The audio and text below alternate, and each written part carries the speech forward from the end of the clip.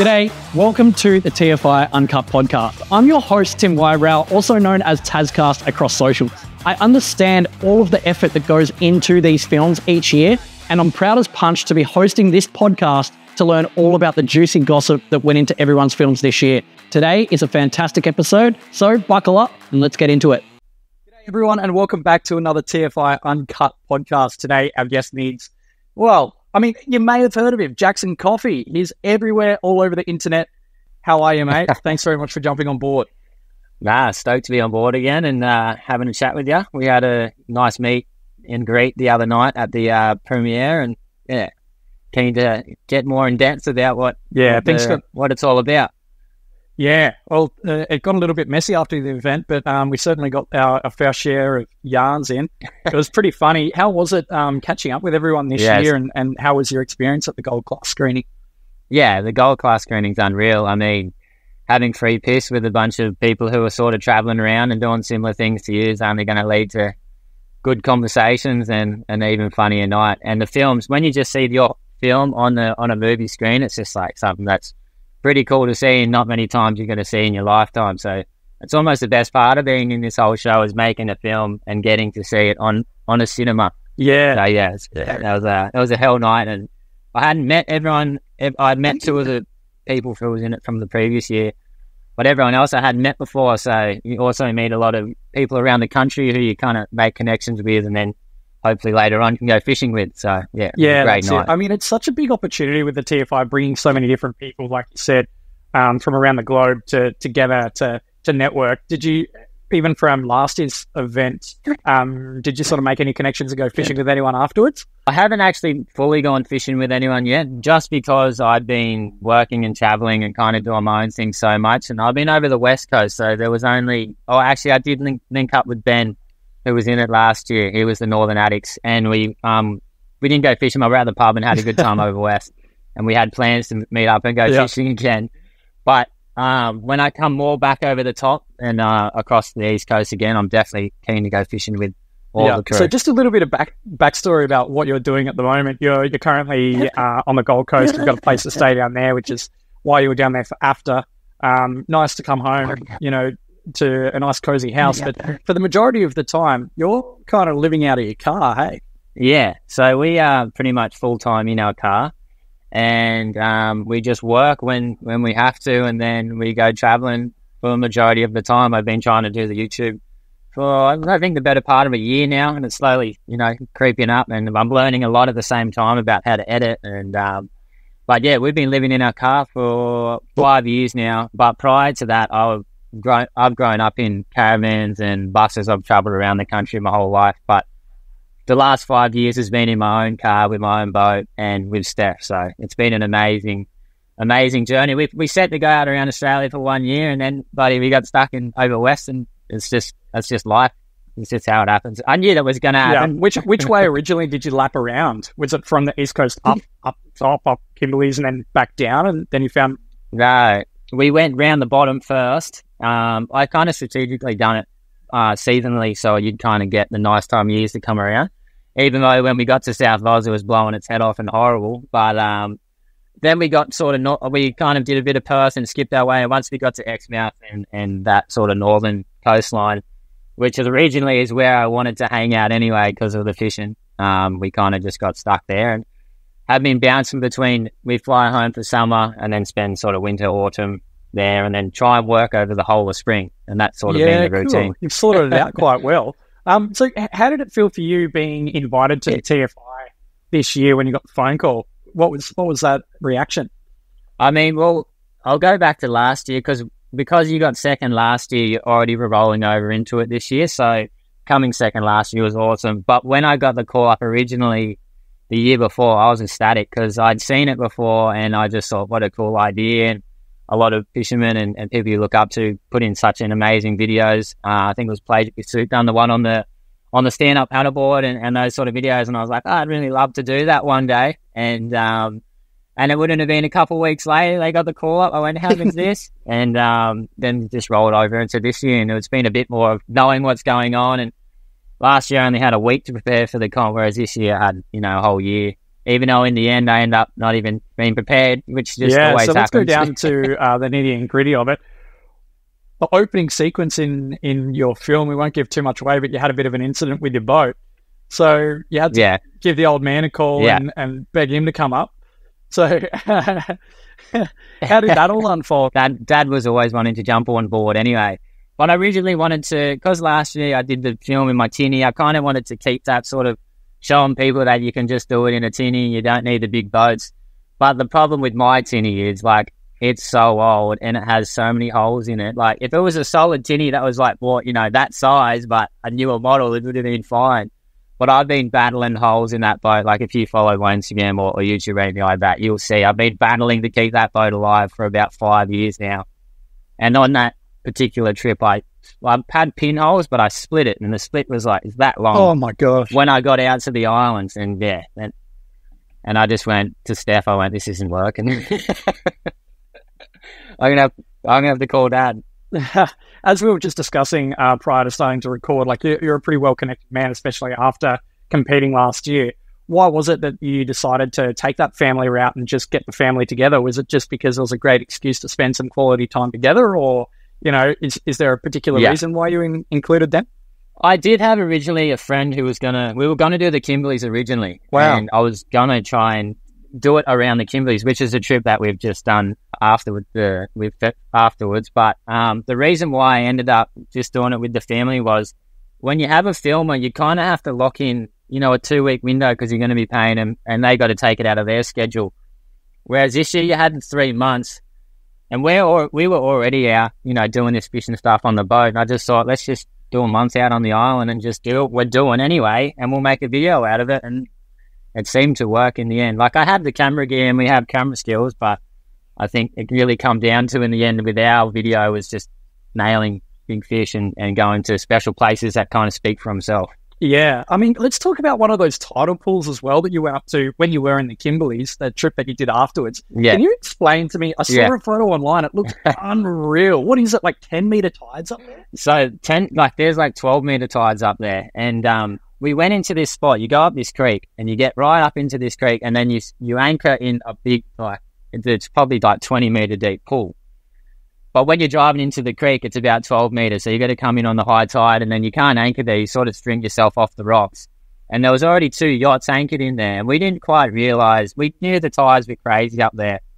But when we done this day, we're in this thing. We like in a big chasm like this, and you're thinking like it's not going to drop out 11 meters, and then all of a sudden drops out, and you're stuck in there. Like you're literally stuck in there. You can't get out. Like it's just incredible. And there's crocodiles, and and it yeah, the Kimberleys is just uh, an amazing place, and I can't wait to. I'm going back there in a couple of weeks. I'm going back there. Yeah, cool. Were there any fish in that little pond from that photo you put up in that chasm? Or There's little jacks. We were there. The only thing that when we go to the Kimberleys, we went there in winter. So winter's like a good time of year to be there, like weather, wind wise. But fishing wise, it's a little more quiet. So in that particular pool, we only caught. We actually didn't catch any fish in that pool, but there are little jacks and that in there, and I've heard of people catching barra. Yeah. But yeah, if you get if you go there more like after after the rain and that is the time to time to hit the Kimberleys. But then you got to deal with the heat and the bugs and so yeah, I want to go back there next year after the rain, but yeah, it- it's definitely be a harder trip than going in winter when you just got nice conditions. that's epic. Like even speaking to the Petersons where Yeah. they did their film, it was just so cool seeing the untouched ground that's up there. I really need to get up and explore Yeah. it, and I highly encourage anyone listening to investigate it Yeah. and uh, yeah, see what see what charters are available up there. I think there might be some new ones coming up on the horizons, even with the Petersons. So that'd be pretty cool. Or maybe you can show a few people around.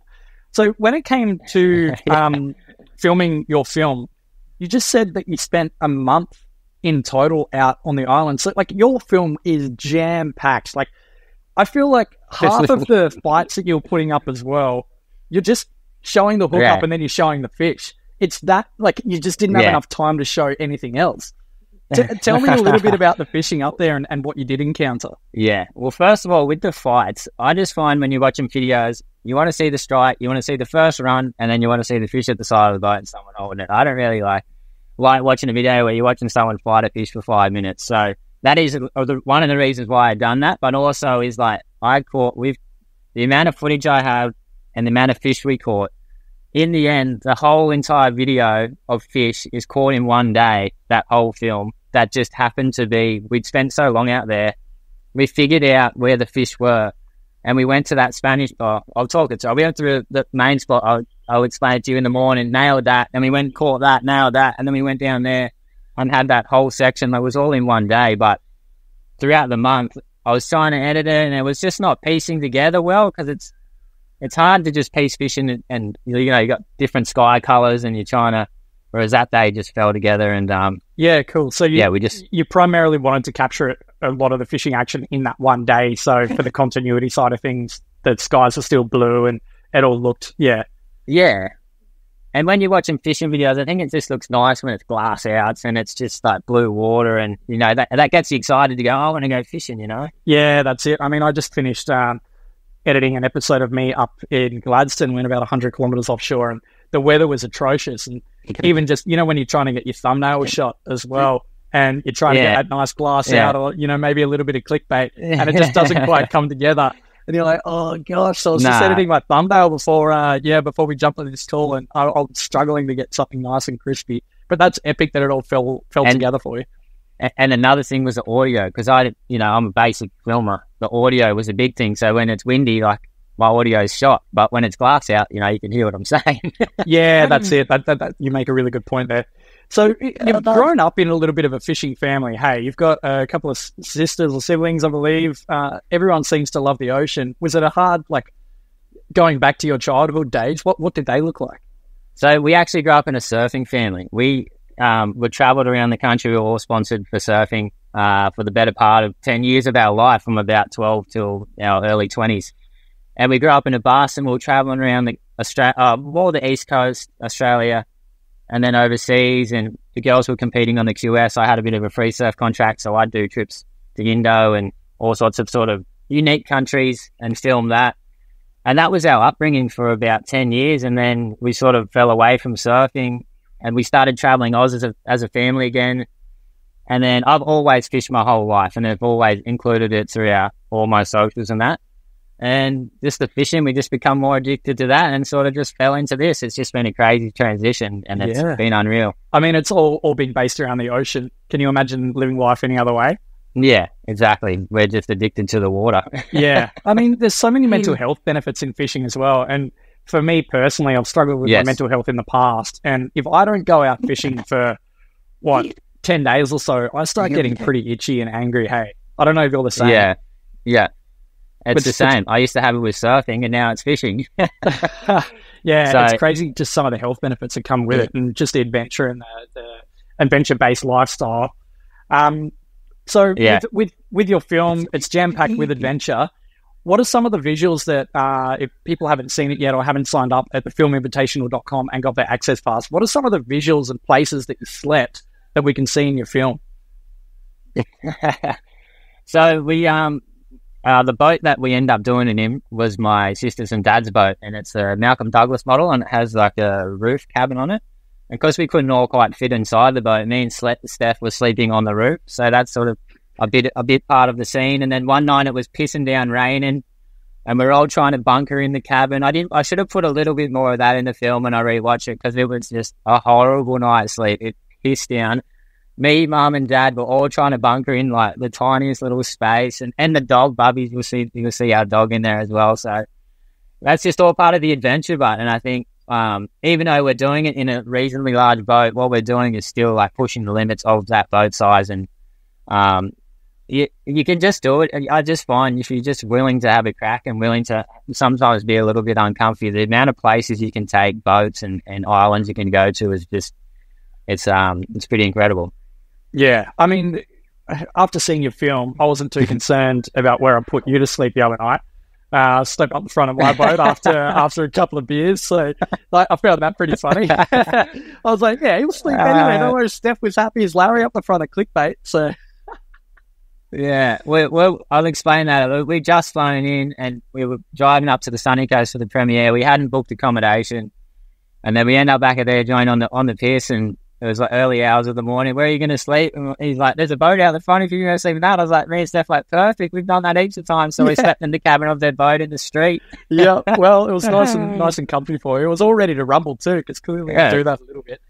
Um, but Yeah. so, what did you think about the films that were competing this year and um, the quality and the narrative that came through from them? Was there anyone in particular that you really loved, apart from your own, of course? I actually really loved Rocket Kid's film. I loved his style. I, I hadn't actually, I don't follow the fishing industry super hard, and I hadn't seen a lot of his stuff before. And I just loved his style, and um, I loved how I know get lures off the Molossi boys as well. I know how sick their lures are, and I just love that idea of you know when he found that when he was doing the start of the video and he found that chair and made the lures out of it. I was like, that's really really cool. So. I really like that video, and I like um, Ricky Mack style. I've always I followed him previously to meeting him this year. I just like his style, and he's just feel like he's doing a similar thing to what I'm doing, sort of traveling around the country, doing things a little bit rogue and not exactly the way that maybe um, everyone does it. And I think he's just cool in that sense. Yeah, it's so funny when I had a bit of a chat to him. I was like, "So, what's your recipes?" He's like, "Just salt the world, mate." Sometimes the salt doesn't even make it onto the steak, you know. It's covered in ash and everything Yeah. else. You've got plenty of herbs and spices out there. Like, so ghetto. It's so funny, just like having a bit of a yarn to him. He's, he's, he's pretty uncut and just pretty chill. Um, and, and you can see why so many people just like that personality. And I, I think it's a great idea that you're going Yeah. down that route as well and just sharing some of those behind the scenes kind of, kind of thing as well. Um, of how we live just on a Yeah. day to day basis being adventurous people. What can we expect Yeah. from some of your other um, personal pages or yeah, some of your upcoming YouTube videos? What have you got in Yeah. got in store? So the Kimberley strip I've just filmed, so that'll be coming out uh, probably in about two or three weeks' time. I'll start probably a three or four um, series thing from it, week to week. Cool. But yeah, my videos are just based on going out to islands, having a crack, um, going fishing, and yeah, just doing it like a little bit more rough and uncut, and not probably the conventional way, but going to places that are. I love the adventure of it, and that's really what it comes down to for me. I love adventure. I love fishing as well, but going to just unique places that are in Australia. Like, there's so many amazing places that are still so untouched, and um, I just like traveling to them spots and, and showing that you can get to them and and um, what fish are there and showing people the way you can do it in not such an expensive way. You can make it cheaper and not have to pay for charters. that, that's a fantastic point. Um, I've spent I've spent my fair share of, of money on charters. I mean, even my boat, it's just ridiculous how quickly it piles up. And I think that's a great point that you Yeah. touch on as well. That you don't have to go all out. There are ways around doing things, and you don't don't have to have the most expensive gear and equipment. We saw that in Sarah and Keelan's film as well, and uh, Yes. just from what they did, yeah, um, you know, pretty much just jumping on a TV boat and making a film out of it. That's pretty cool. What sort of style of Yeah. fishing um, is your favorite? I mean, TFI, it's, it's had top water involved in it, but now we're branching out into a bit more um, of that adventurous nature. What's what's your favorite Yeah. style now? Well, mine is top water, like 100% top water. I love top water fishing because it's so visual. And I feel like there's a lot of like things coming out nowadays where people's using like live scope or and using their sounder and they're sort of staring at their sounder most of the day trying to figure out what's going on. Whereas I feel like with top water fishing, it's so visual. You're trying to see birds, restructure, and you're more like aware. And I just, I love that style of fishing. I don't really like looking at the sounder all day long. So saltwater fishing to me is the ultimate. Yeah, it is kind of Yeah. like cheating. It'll be interesting to see how it progresses over the next couple of years, and even just us being after we saw all of the new technology that's coming out. Um, Yeah, was, was there yeah. any piece of tech there that you thought was pretty nifty that you could implement? I'm so out of the loop. It was the first time bloody seeing that live scope. I was like, that's like cheating, isn't it? You're So, that yeah, rural old the guy live that's like, scope. what do you mean? No, no, I remember back in my day, we're all yeah, yeah, yeah. so that, yeah, probably nah. There's so many amazing products in there, and so many things that when I was at the I was at the Major Craft stand, and I I love my jigging, and um the Major Craft had these tiny little jigs about this big, and they called micro jigs. People watching this probably already know about it, but I'd never known about them. And everyone who come past were coming through and checking out these micro jigs and telling me that like they caught bass, snapper, all of these like crazy species on a jig about this big, like three gram jig. And I was just that, that really did blow me away. That Yeah, I feel like that something that nobody's tapped into yet either is is micro jigging trout in some of the deeper lakes in Tasmania or just around Yeah. the country. That'd be really cool to get one and, Yeah. and really dial it in, especially when you're using those light PE two setups or PE one where you can feel the fight on a nice Yeah. little overhead reel. That's pretty cool.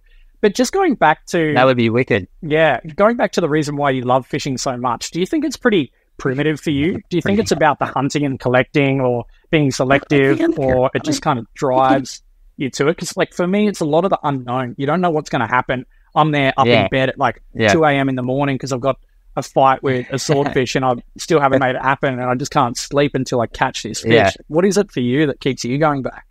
Well, it, it is have been in my family. My my dad and then my great and my father, uh, my my pop and my great grandfather all fish. So I think it has come through the family a lot. I've fished my whole life, but it is that chase. Like it's so rewarding when you tar- go out and target a fish and you catch it. Like it's such a rewarding feeling, and it's just the unknown as well. Like it's similar with surfing when you're chasing as well. Like I think it's quite a similar thing where you're chasing the unknown, and when you do succeed and pull it off, the reward is just so good that you get addicted to that feeling. So I think that is really why I love fishing and also the primitive side of it. Like when you're traveling, and I've never had much money. Like I'm always sort of just getting by. And if you're living off the road, like having fish to eat, like that cuts down the cost of living massively. So that's another big factor into it. Yeah. I mean, for me in the fishing that I do, I don't know if quite cuts even when I'm traveling eight hours north and then coming home with a bucket of fish after you've spent $1,500 on fuel. But that's something I definitely need to work on. You've got it down pat. yeah, yeah, Um, so $75,000 is up for grabs. Uh, you came second last year in the TFI. Yes. What would it mean um, taking home that prize money and, and what would you do with it? Would you upgrade the boat?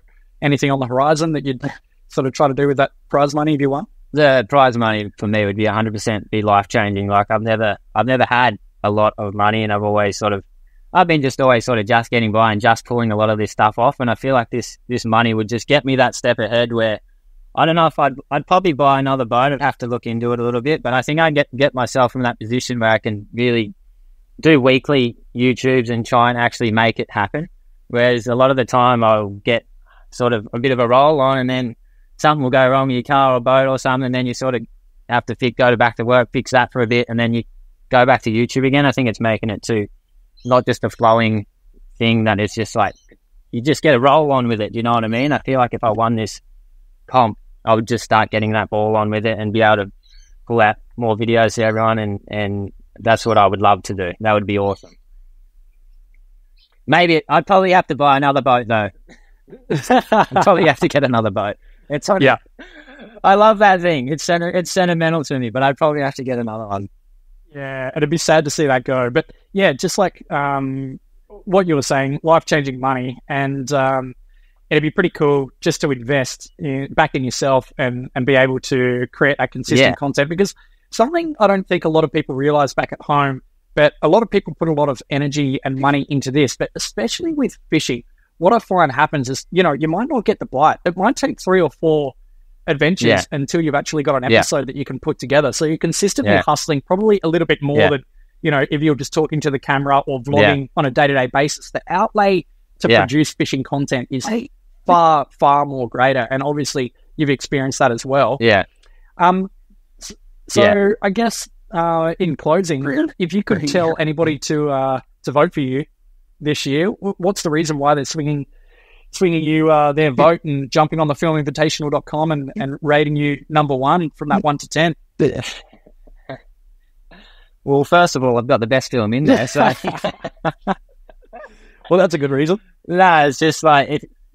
I just think it would it would go towards just a good cause to just keep creating content which you guys want to see. Like this is this is why we have this video going. Everyone wants to see cool places and learn new things. And yeah, if you vote for me, you just I'm just going to pour it straight back into traveling around and showing you islands and, and places that you may one day want to go to. So Yeah. yeah, that would be the that would be the main thing would go behind. Yeah, cool. And uh, if you could give any advice to some budding outdoor enthusiasts out there that want to start creating content, I mean, you're relatively new to it. You've been doing it for a year. What would you say to those kids back at home that might just be uh, getting their first GoPro or some other, you know, some Yeah. older guys that are that are starting to get into their fishing again? What would you say to those upcoming content creators to to encourage them to produce content?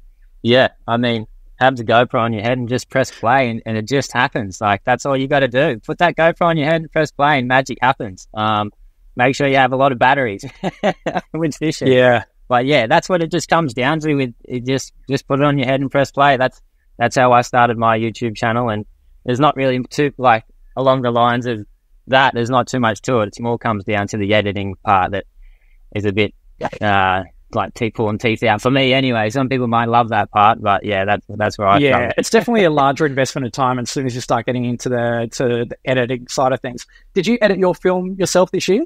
I think you mentioned you did. I did, yeah, yep.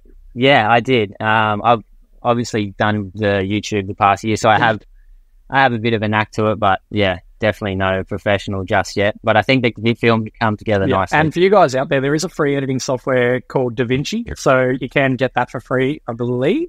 But what did you edit your film on this year? I edit I edit all on Final Cut, and mainly because I was I tried to learn Premiere Pro and I just couldn't wrap my head around it. And I found Final Cut more just like a good version of iMovie. so yeah. I went to Final Cut, and it's and it's a one-off payment. Whereas with the Premiere now, you got to pay like uh, eighty bucks a month or something. Yeah, it, there is that student discount on top of that, but it, it's certainly a little bit more of an outlay. Um, so if you if you are starting out, it's probably best that you stick to those free softwares or that one-time payment. But I think we'll um we'll wrap it up yeah. there. It's it's been nice to have a bit of a yarn too, and it was great to catch up at after as well. We'll have to teach something up and and catch up it in was. the next couple of weeks. Um, but in closing, yeah. is there anyone that you'd like to thank for, for, contributing to your film this year? I mean, apart from BCF for being able to put put this on, um, is there anyone else out there? Yeah, uh, of course, my family, dad, um, mum, partner, and sisters. Their number one thanks always just being supportive and just helping us make this all happen. But uh, Frogley's Offshore, they sponsored me for the last five years and just looked after us so well, even before I was really pushing this fishing stuff. Frogley's were giving me gear and um, yeah, they've been a major part into um, being able to post the fishing content I've had because I've had all the gear to catch the fish with it. And then Blackledge as well, he hooked us up with this um, with the top water lures for this event. Um, yeah, so cheers to cheers to them guys, and it's been um, been a hell of a ride, and I'm excited to excited to see the outcome of this whole yeah, thing. that's it. So, guys listening back at home, if you're driving the car or if you're watching this in your living room, the filminvitational.com. It's the first place you're going to hear the remainder of these podcasts coming out as well. So make sure that you jump over to the filminvitational.com, save this on Spotify, Apple Music, wherever you get your podcasts. Jackson, thank you very much for catching up. It's been bloody awesome to talk to you, mate. Mate, great to have a chat again. I've enjoyed it.